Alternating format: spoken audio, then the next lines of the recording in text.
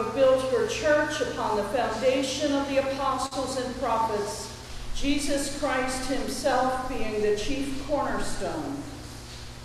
Grant us so to be joined together in unity of spirit by their teaching, that we may be made a holy temple acceptable to you. Through Jesus Christ our Lord, who lives and reigns with you and the Holy Spirit, one God, forever and ever. Please be seated.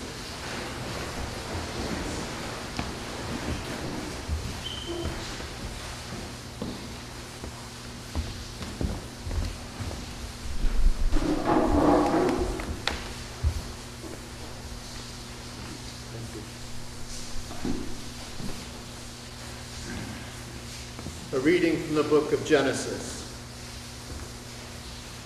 God tested Abraham. He said to him, Abraham. And he said, Here I am. He said, Take your son, your only son, Isaac, whom you love, and go to the land of Moriah, and offer him there as a burnt offering on one of the mountains that I shall show you.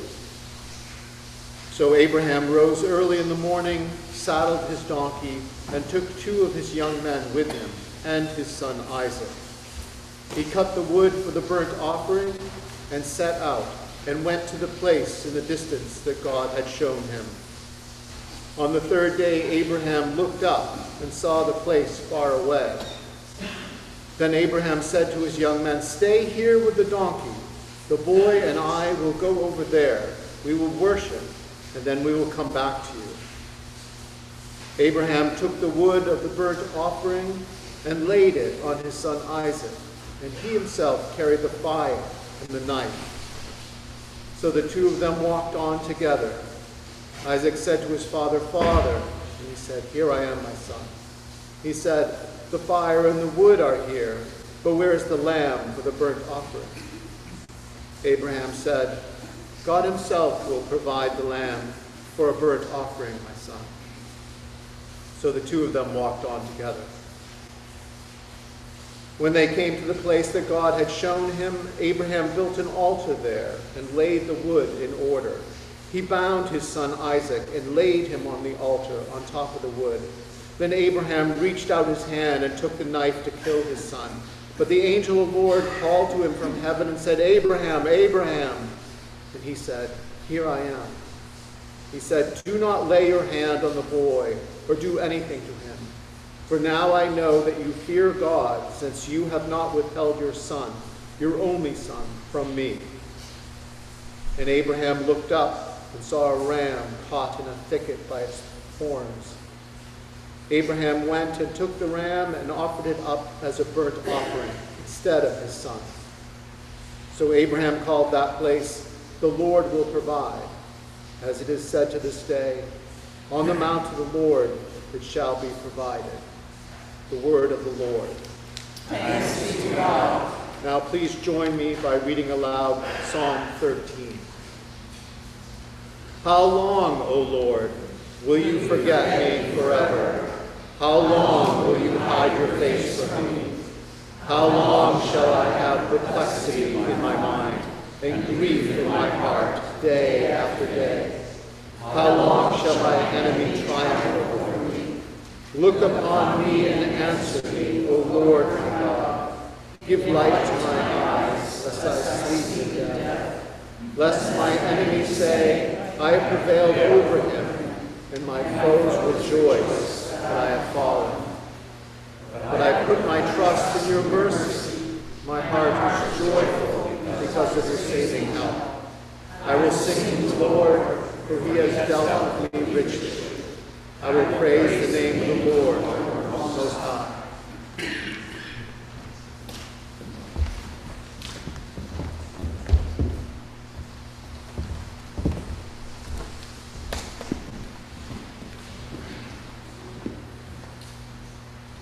A reading from St. Paul's letter to the Romans. Do not let sin exercise dominion in your mortal bodies to make you obey their passions. No longer present your members to sin as instruments of wickedness, but present yourselves to God as those who have been brought from death to life. And present your members to God as instruments of righteousness. For sin will have no dominion over you since you are not under the law, but under grace. What then? Should we sin because we are not under the law, but under grace? By no means. Do you not know that if you present yourselves to anyone as obedient slaves, you are slaves of the one whom you obey, either of sin, which leads to death, or of obedience, which leads to righteousness? But thanks be to God that you, having once been slaves of sin, have become obedient from the heart to the form of teaching to which you were entrusted, and that you, having been set free from sin, have become slaves of righteousness. I am speaking in human terms because of your natural limitations. For just as you once presented your members as slaves to impurity, and to greater and greater iniquity. So now, present your members as slaves to righteousness for sanctification. When you were slaves of sin, you were free in regard to righteousness. So, what advantage did you then get from the things of which now you are so ashamed? The end of those things is death.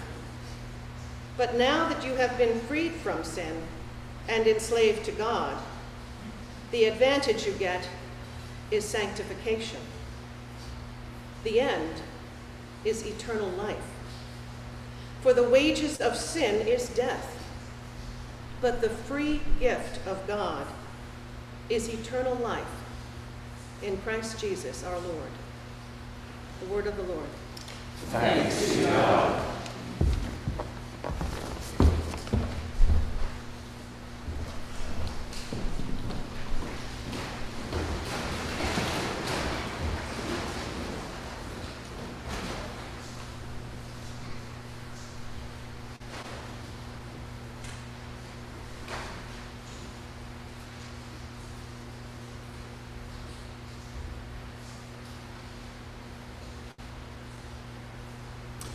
The Holy Gospel of our Lord Jesus Christ according to Matthew.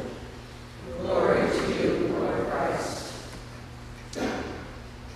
Jesus said, Whoever welcomes you welcomes me, and whoever welcomes me welcomes the one who sent me. Whoever welcomes a prophet in the name of a prophet will receive a prophet's reward. And whoever welcomes a righteous person in the name of a righteous person will receive the reward of the righteous. And whoever gives even a cup of cold water to one of these little ones in the name of a disciple, truly, I tell you, none of these will lose their reward. The Gospel of the Lord. Praise to you, Lord Christ.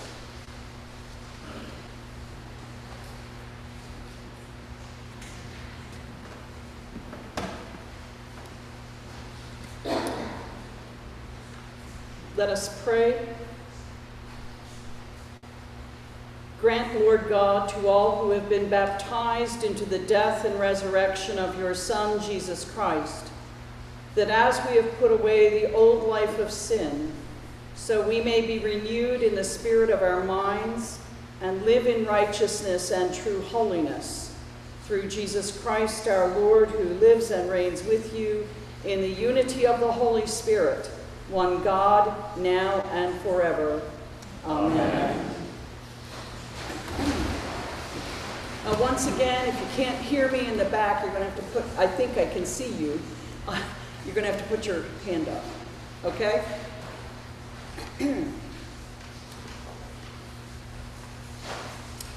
First, a word about the reading from Genesis. It's a very familiar reading. It's a foundational reading. Foundational not only to us, but to our elder brothers and sisters in the Jewish faith. The story of the binding of Isaac, the Akedah,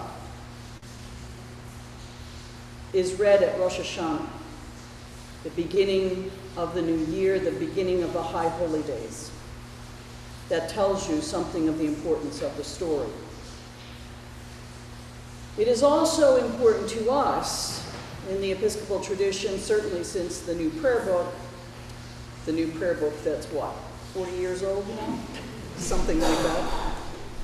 Because it is appointed not only for random Sundays like this Sunday in the three year cycle of the lectionary, but it is also one of the optional readings for Good Friday and also one of the lessons appointed for the Easter Vigil. That should give you some sense of how foundational the story is. And it is a terrible story. It is a story that we've heard so often that some of the horror disappears and dissipates. But if you think about those of you who were in church last Sunday or read last Sunday's lessons on your own, if you think about it, Abram's already lost one son Ishmael, dismissed to the wilderness. And now he has this message, this dream, this encounter with the Holy, who says, and this is the part I want you to pay attention to take your son, your only son Isaac, the son whom you love. He still has a son out in the wilderness. But the words of this text tell us something very important. Something that's an echo of what I said last Sunday about the fun in dysfunction. The patriarchal narratives have holy people who are really twisted. Holy people who struggle towards holiness. Holy people who have encounters with God that are completely confusing and confounding. And I would ask you to think about this. Is that not unlike? That is exactly like many of our encounters with God the deeper we go in the journey of faith. It's not all sweetness and light and easy going. And this reading, which you've heard over and over again, is Exhibit A. That's not the sermon.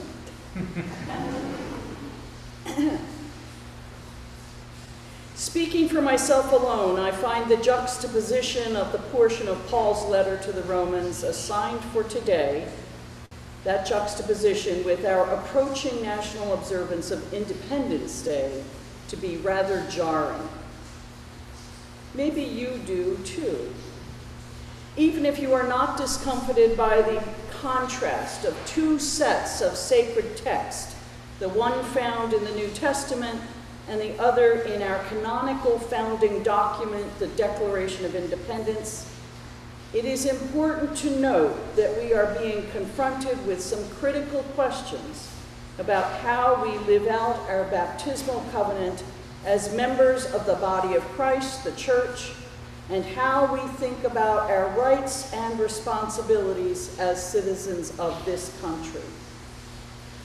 I hasten to add, as I have said in many previous sermons around this day, here and elsewhere, I hasten to add that this is not a political sermon, except insofar as being a citizen of the reign of God may pose some actual spiritual tensions, if not conflicts, with our citizenship in these United States, to which we may need to be attentive.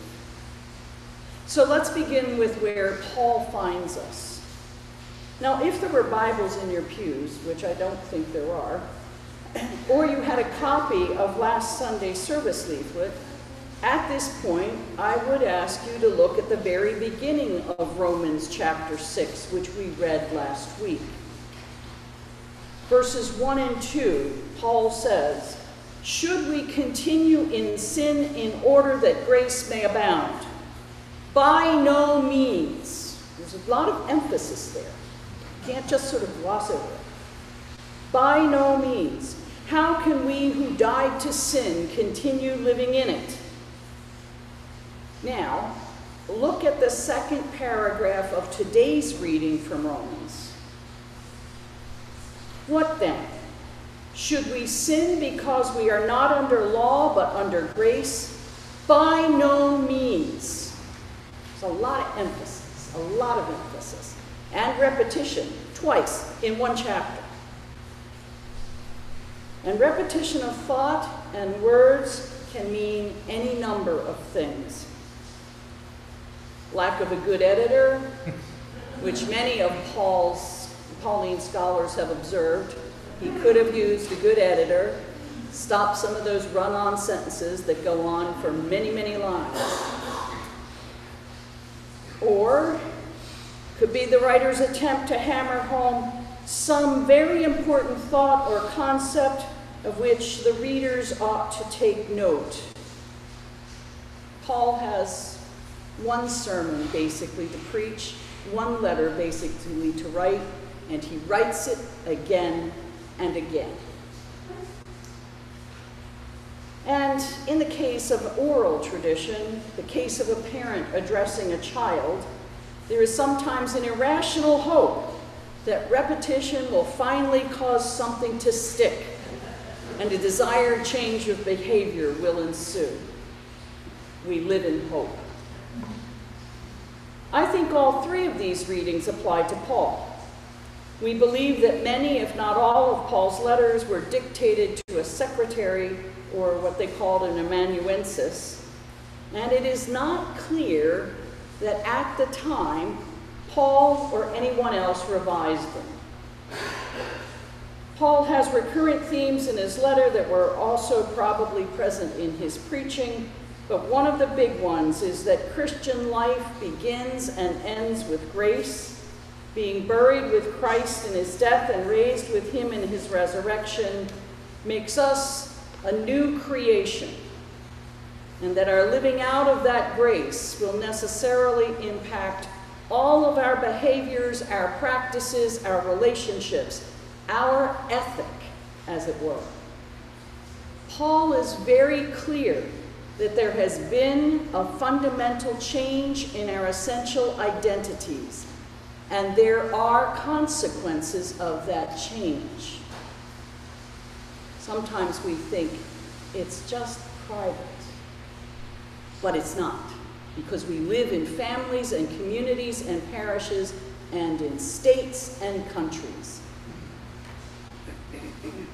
Today's epistle reading begins, before his repetition, with imperative statements, that is, command statements. Do not, no longer present, but present. Don't do these things because you are no longer under because you are no longer under sin's dominion.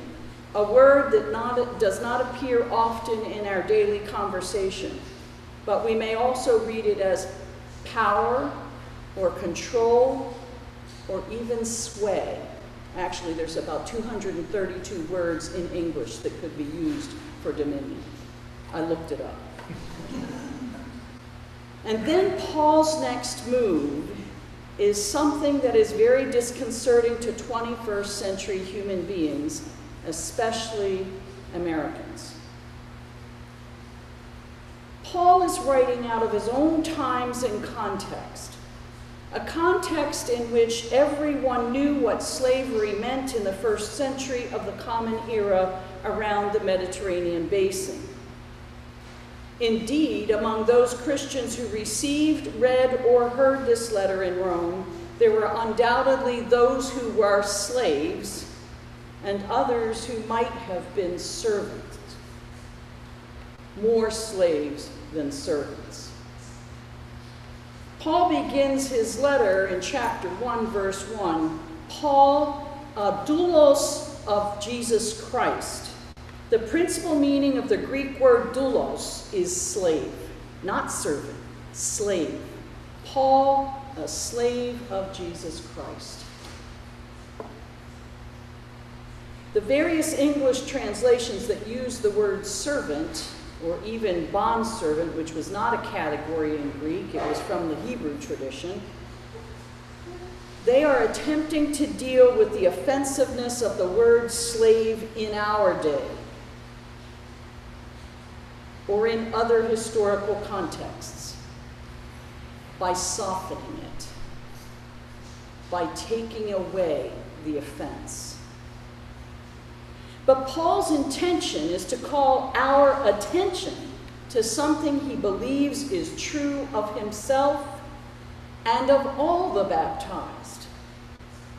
We no longer belong to ourselves as if we ever did.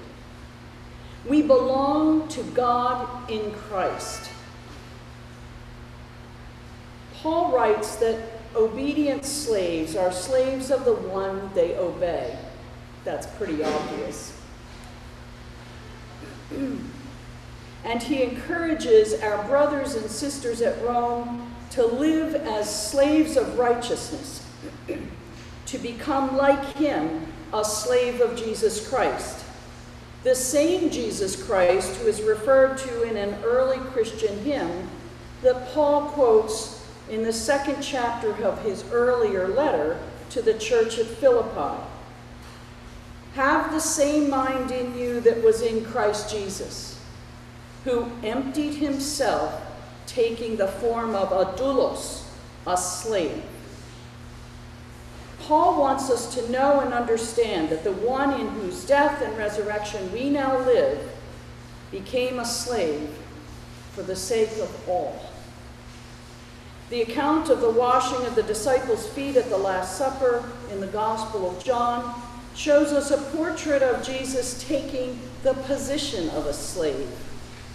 And so we are called to be there too with him for the sake of others. Now, how are you and I to hear and receive such declarations as 21st century Western Christians, especially two days before Independence Day? I think that you and I tend to resolve our discomfort by dividing our loyalties. For many of us, it is easier to live with cognitive dissonance by compartmentalizing our response to the call to live as the new creation as something that's just spiritual, but to consider our real life as demanding a more practical ethic. The risk of separating our call to live by walking before God in holiness and righteousness all our days as the general thanksgiving in the Book of Common Prayer puts it, separating that from the nitty gritty day to day challenges where sacrifice and faithfulness seem to have very little value, is that our hearts will indeed be divided. And the spiritual energy that we believe we were protecting will be stifled and become lifeless. We're not exercising it in the real world, the only world we live in. In the days of deep challenges posed by the world around us, perhaps even within the boundaries of this nation, there will likely be little left for us from which to draw spiritual strength. Indeed, history shows us many examples, but this is the one that is a prime example. It is easy, it's incredibly easy, and how this can happen. And when it happens, it is in fact what happened that crippled the witness of the German Lutheran Church under Nazism. The majority of the church went along with it, and they hung the banners in their churches. And they, well, I suppose they prayed for the Fuhrer, but basically they didn't question anything he did because that would be costly. Those inalienable rights so beautifully proclaimed in the Declaration of Independence, life, liberty, and the pursuit of happiness, are held as gospel truth, as it were, by many. Though Frederick Douglass, a fugitive slave in continuous danger of being captured and returned to his owners in Maryland, declared in his famous 1852 speech, What to the slave is the Fourth of July? that these words held no meaning for the millions of enslaved human beings in this country at that time. Douglass took to task the institutions of American culture and governance, including the churches, for thinking that all must join in our great national celebration of Independence Day. Douglass observed that for those who were considered three fifths of a human being, the call to celebrate the inalienable rights of life, liberty, and the pursuit of happiness rang very hollow.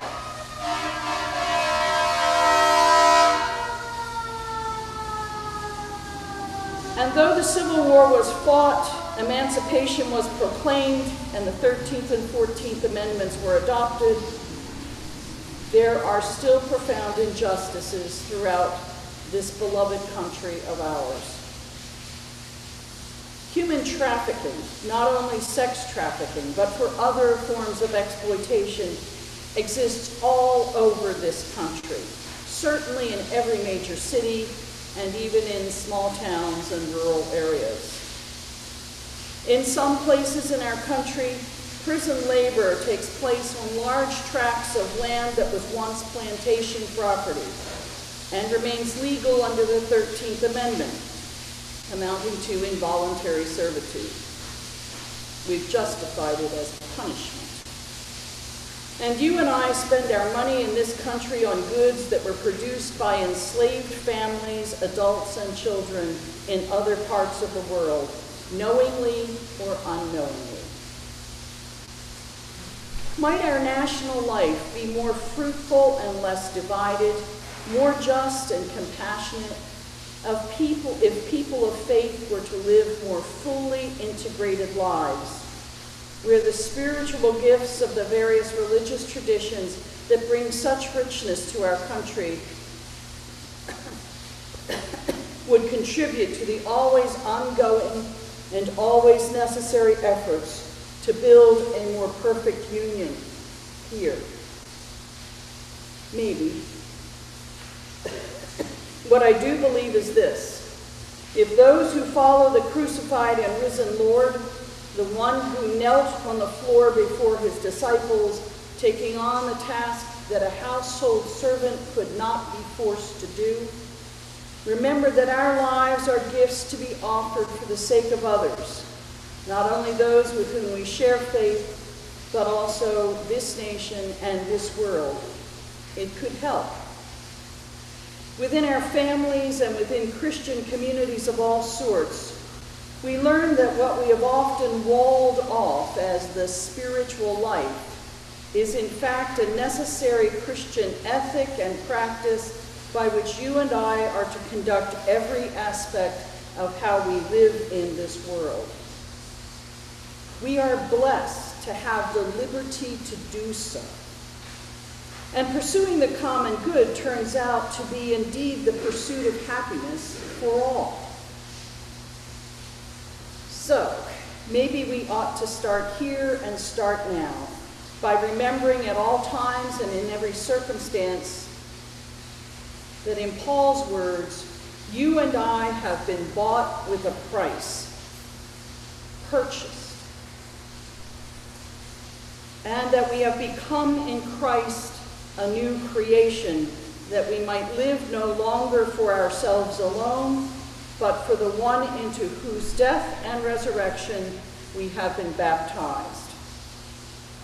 Living with conscious awareness of how interdependent we are both in the world and in the church may well help us to celebrate more joyfully with our fellow citizens not only the birth of our country, but also a more fully realized commonwealth for which freely chosen sacrifices must often be made for the good of all. I invite you to take your prayer books, the red books in your pews, I think they're there. Turn to page 98. And using suffrages form B, please join me as we pray.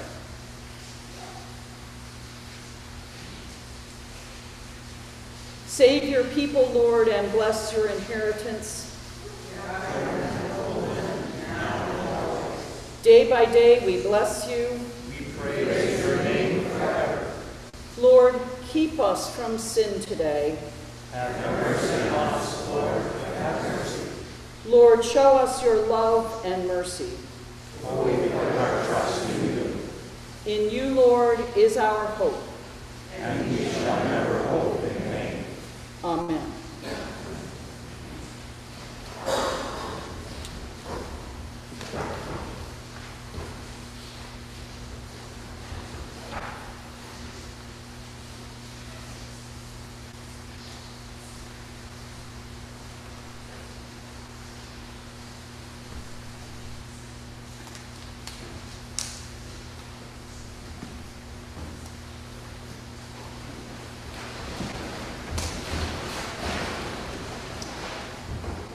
We believe in one God, The Father Almighty, maker of heaven and earth, of all that is seen and unseen.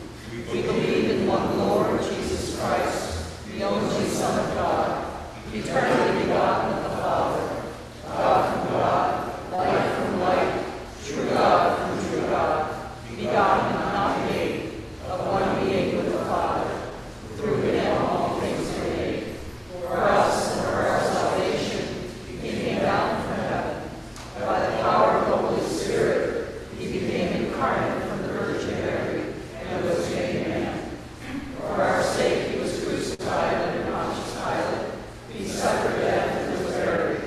On the third day, he rose again in accordance with the Scriptures. He ascended into heaven and is seated at the right hand of the Father. He will come again in glory to judge the living and the dead, and his kingdom will have no end. We believe in the Holy Spirit, the Lord, the giver of life, who proceeds from the Father and the Son. With the Father and the Son, he is worshipped and glorified. He has spoken through the prophets. We believe in one holy, Catholic, and apostolic church. We acknowledge one baptism for the forgiveness of sins. We look for the resurrection of the dead and the life of the world to come. Amen.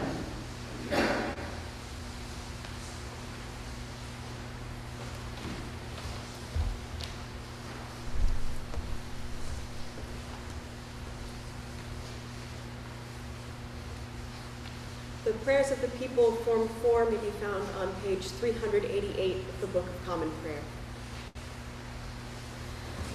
Let us pray for the church and for the world. Grant, Almighty God, that all who confess your name may be united in your truth, live together in your love, and reveal your glory in the world. Lord, in your mercy, Guide the people of this land and of all the nations in the ways of justice and peace, that we may honor one another and serve the common good.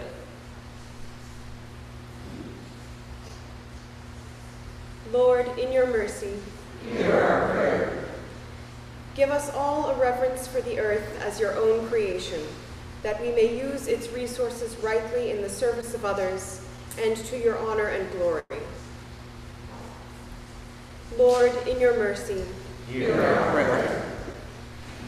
bless all whose lives are closely linked with ours, and grant that we may serve Christ in them and love one another as he loves us.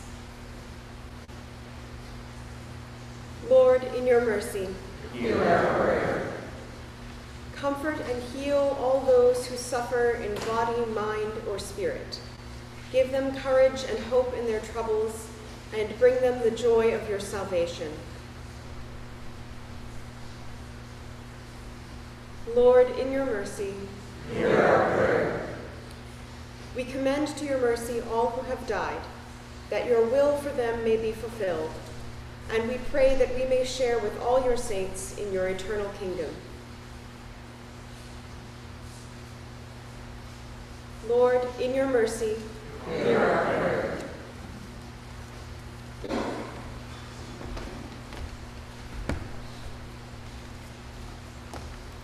Let us pray for the needs and concerns of this community.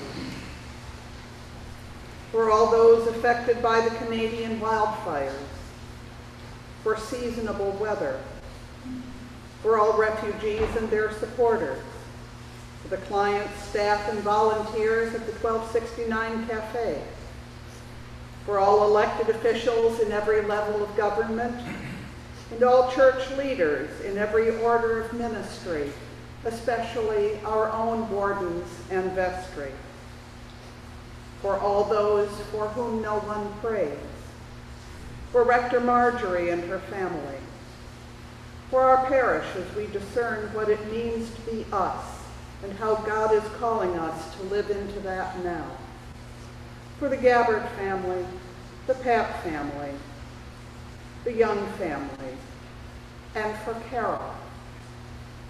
For whom else shall we pray?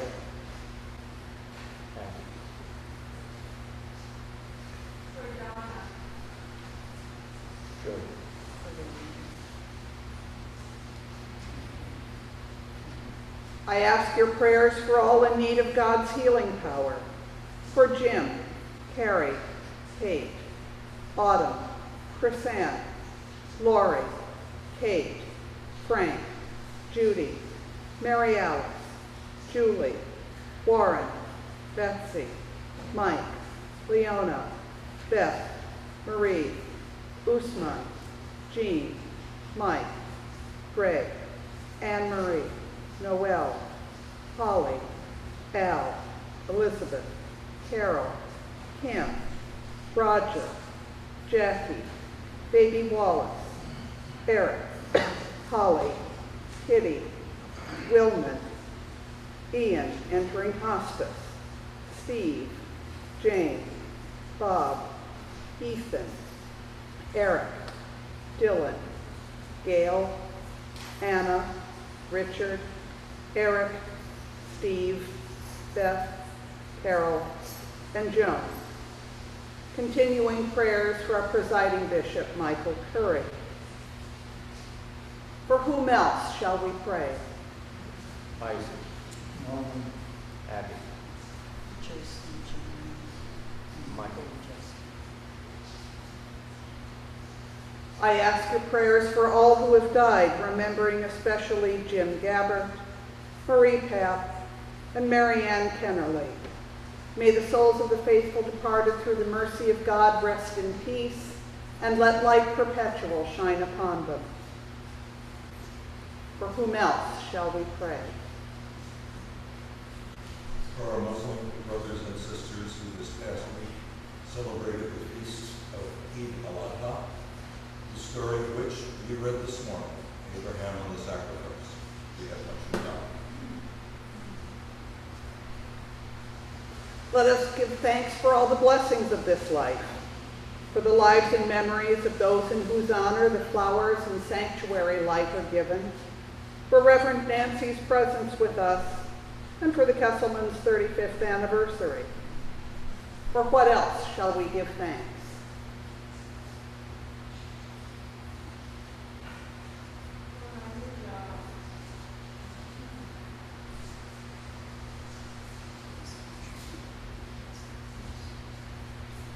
for the Tanner's 54th anniversary.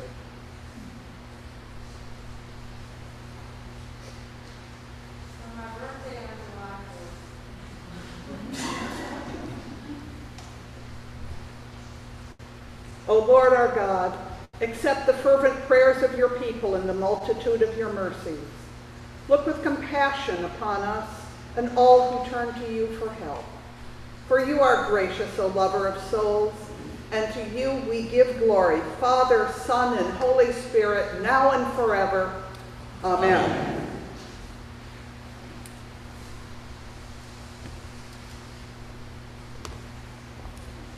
Let us confess our sins against God and our neighbor.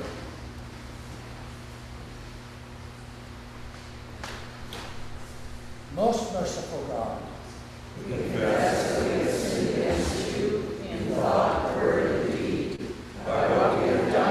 And by what we have left undone. We have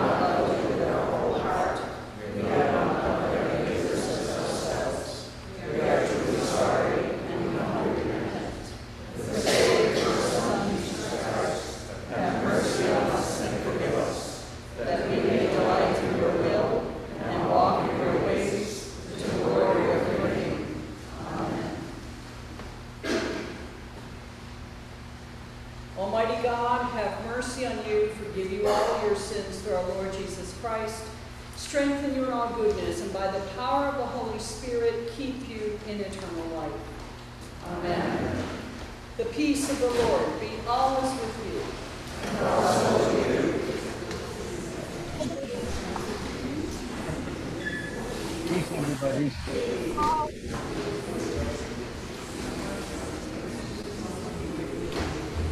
everyone.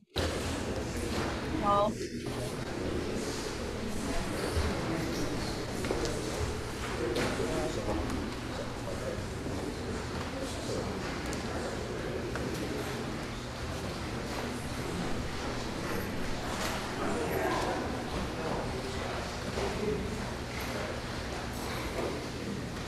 Morning, Bill.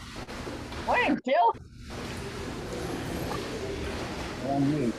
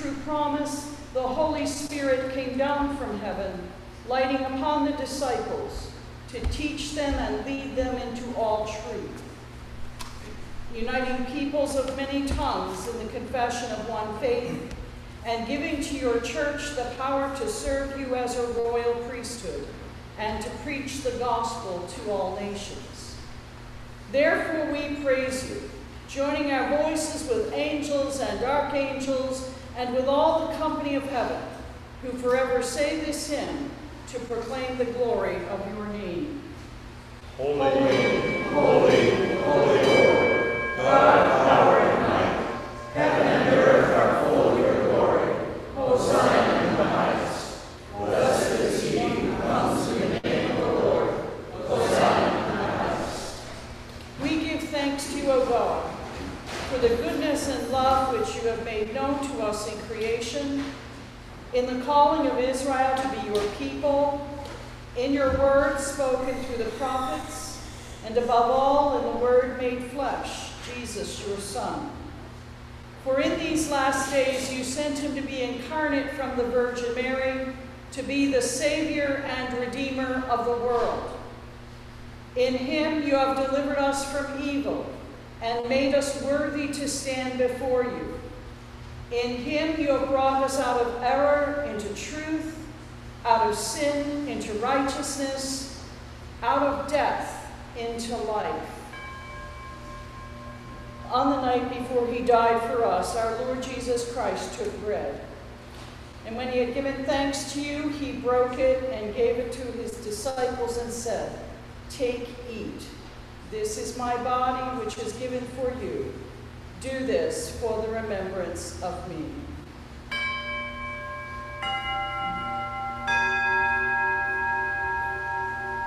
After supper, he took the cup of wine, and when he had given thanks, he gave it to them and said, Drink this, all of you. This is my blood of the new covenant, which is shed for you and for many for the forgiveness of sins. Whenever you drink it, do this for the remembrance of me.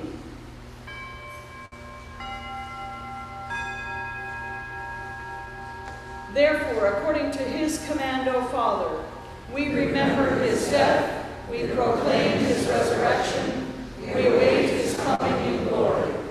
And we offer our sacrifice of praise and thanksgiving to you, O Lord of all, presenting to you from your creation this bread and this wine. We pray you, gracious God, to send your Holy Spirit upon these gifts that they may be the sacrament of the body of Christ and his blood of the new covenant. Unite us to your Son in his sacrifice, that we may be acceptable through him being sanctified by the Holy Spirit. In the fullness of time, put all things in subjection under your Christ, and bring us to that heavenly country where with the ever-blessed Virgin Mary, blessed Michael, Mark, and all your saints, we may enter the everlasting heritage of your sons and daughters. Through Jesus Christ our Lord, the firstborn of all creation, the head of the church and the author of our salvation. By him, and with him, and in him. In the unity of the Holy Spirit, all honor and glory is yours, Almighty Father, now and forever. Amen.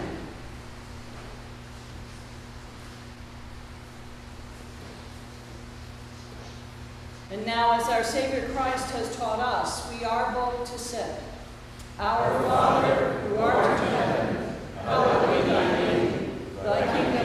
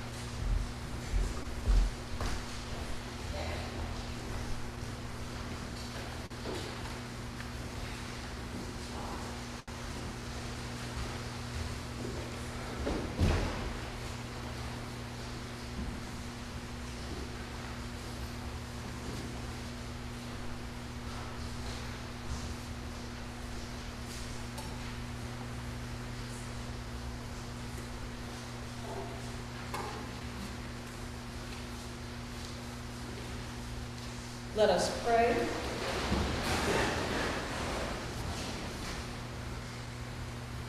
Eternal God, Heavenly Father, you have graciously accepted us as living members of your Son, our Savior, Jesus Christ, and you have fed us with spiritual food in the sacrament of his body and blood.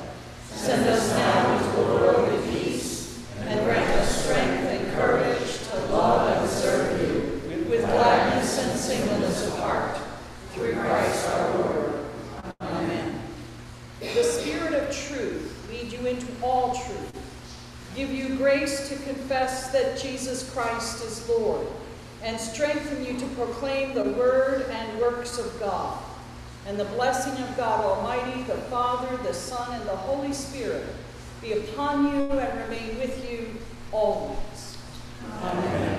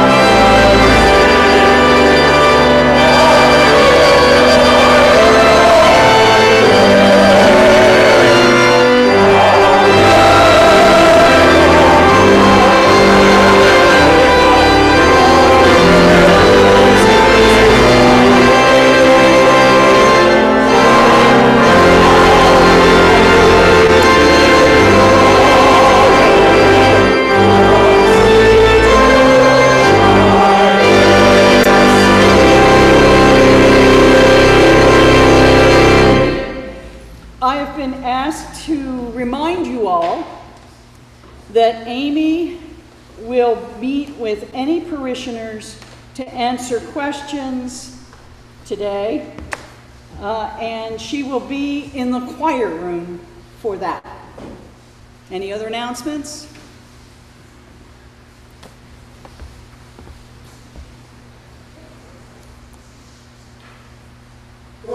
Peace to love and serve the Lord. Hallelujah, hallelujah. Thanks be to God.